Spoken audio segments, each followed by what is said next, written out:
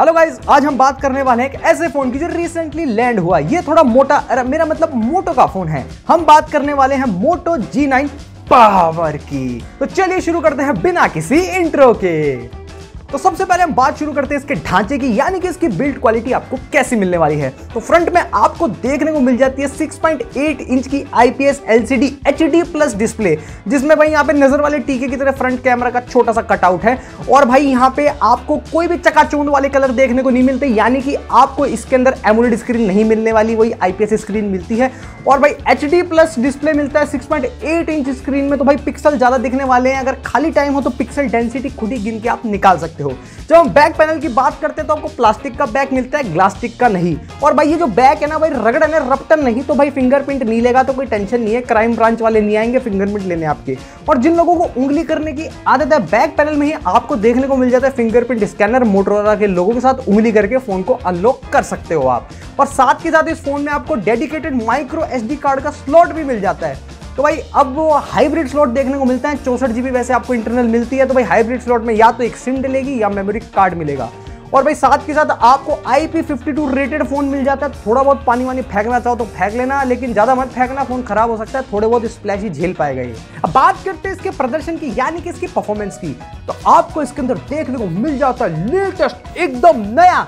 नहीं last year का Snapdragon 662 processor तो भाई, जो गेम के ट्रेलर तो सही से चला देगा, लेकिन गेम नहीं चला पाएगा। और अगर आप गेम चलाते भी हो तो भाई मीडियम सेटिंग तक तो आप गेम खेल पाओगे, एक दो शायद हाई क्वालिटी में भी चल जाए। लेकिन ज़्यादा देर अगर आप गेम खेलोगे तो आपको चाय से ज़्यादा केतली गर्म है वाली बात देखने को मिल सकती है। थोड़ा हीट वीट आपको देखने को मिल जाएगी लैग तो पक्का देखने को मिलेगा।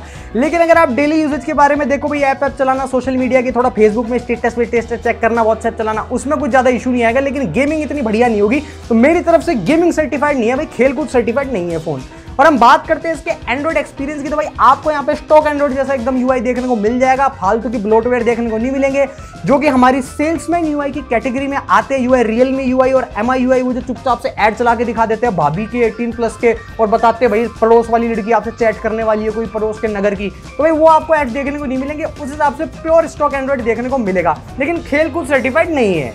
अब बात करते हैं भाई ये फ़ोन चित्र कैसे लपेगा यानी कि इसकी कैमरा क्वालिटी कैसी होने वाली है। तो आपको इसके अंदर देखने को मिल जाता है क्वाड कैमरा सेटअप नहीं ट्रिपल कैमरा सेटअप आपको देखने को मिलते हैं तीन कैमरा फ़र्स्ट तो देखने को मिलता है 64 मेगापिक्सल का प्राइमरी सेंसर दूसरा आपको देखने को मिलता है 2 मेगापिक्सल का मैक्रो सेंसर जो छोटी चीज़ को बड़ा करके दिखा सकता है, बुल्ली को भुल्ला करके दिखा सकता है। दूसरा भाई दो मेगापिक्सल का डेप्थ सेंसर देखने को मिलता है। आपको पता ही है, बाकी की जो कंसोलेशन प्राइस वाले सेंसर है, ज़्यादा काम आते नहीं है। तो भाई, कमाल की बात है कि मोटो G5 प्लस के अंदर आपको 48 मेगापिक्सल का कैमरा देखने को मिलता है और इसमें 64 मेगापिक्सल का। और जब मैंने उसको बोला कि ओवर प्राइस है तो लोग मेरे को बोल रहे थे, ऐसे कैसे बोल दिया आपने मोटो G5 को ओवर प्राइस तो भाई, आप देख लेना भाई। और जब हम बात करते हैं इसके कैमरे की तो भाई, मेरे हिसाब से इस प्राइस रेंज में ज़्यादा दुनिया देखने वाला है। यानी कि अल्ट्रा वाइड लेंस इसमें बनता ही बनता है। इससे कम प्राइस में भी अल्ट्रा वाइड लेंस आपको देखने को मिल जाता है। बट वो कंपनी ने दिया नहीं है। क्वालिटी कैमरा की मेरे हिसाब से एवरेज रहेगी, ज़्यादा बेटर नहीं रहेगी बट फिर भी यार असली चीज़ तो तभी पता चलेगी जब फ़ोन हाथ में आएगा। तो अगर आप कैमरे के लिए फ़ोन देख रहे हो तो भाई रिव्यू रिव्यू देख लेना बट इसमें अल्ट्रा वाइड लेंस नहीं है।